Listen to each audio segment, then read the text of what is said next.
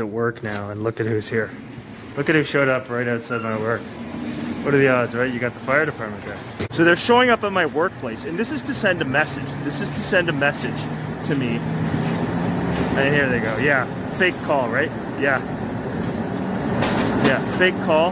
And they weren't attending to anything. They know that I'm working in this building, so they showed up here for this fake call.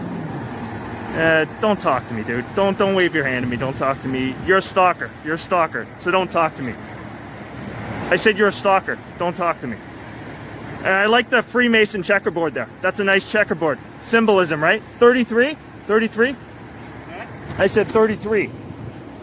33. 33. Yeah, the checkerboard, Freemasonry, 33. Oh. That's their number. You know Yeah, what it is. right. Yeah. There's a lot of Masons in the fire department, right? Yeah, there is. Okay, cool. Fair enough. At least you're honest. My uh, my old district chief was Yeah. uh, Grand Mason, Oh, cool. and he's cool. here in Toronto. Interesting, interesting. Yeah. Because I, I got to tell you, you might not like to hear this, but I feel that I'm being stalked by the fire departments. Oh yeah. Yeah, like everywhere I go, it's weird. I can show you videos. I have videos. Every I'm not.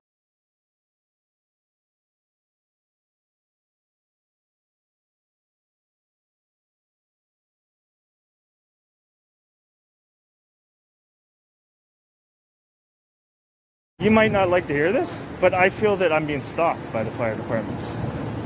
Oh yeah. Yeah, like everywhere I go, it's weird. I can show you videos. I have videos. Every I'm not every I'm not saying you're doing that It's now. just a, it's just okay, a it's going. no, coincidence because Oh, same thing. on, I live dude, in Toronto, on. and everywhere I go, and I'm on the job. I'm like, No, fire truck? buddy, come on. It's okay. I'll tell you. I'm going home, and I don't need three people surrounding me either. Uh, I'm just talking to you, right? I don't need a whole group here.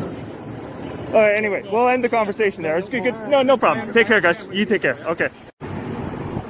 So yesterday, as you can see in the video, I had uh, the fire department show up at my workplace again for some uh, some stalking. Uh, and it's interesting. I was able to have a brief conversation with one of these uh, people. And when I brought up uh, the fact that there were a lot of Masons in the fire department, he just confirmed it. He said, yeah. And he said uh, his boss had been uh, a, grand, or whatever, a uh, master Mason uh, in Toronto. So, I mean, yeah, just, just confirmation. You know, they got the checkerboards on the vehicles. Um, but uh, yeah. So, but of course, when you bring up the stalking, then they just stonewall you. And, you know, they pretend. I mean, they just. It's laughable that they still lie and say they're not doing that. But yeah, they just they just say oh, it's coincidence. It's coincidence. Yeah, it's coincidence that for like a year and a half, over and over and over again, they're showing up constantly wherever I am, blaring their sirens, even in places that are secluded, right?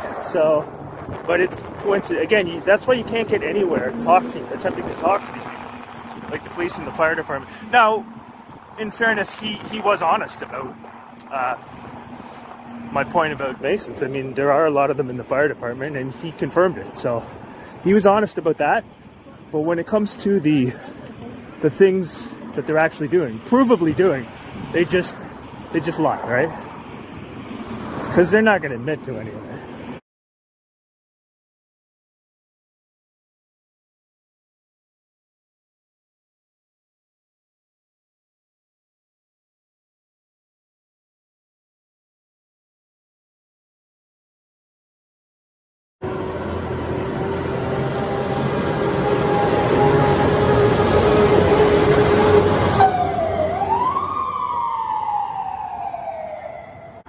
This is just not random or coincidental. It happens all the time. They will bring a fire engine blaring as loud as possible um, just for the sake of the noise harassment. So it's important that people know that fire department resources are being completely wasted on this complete idiocy.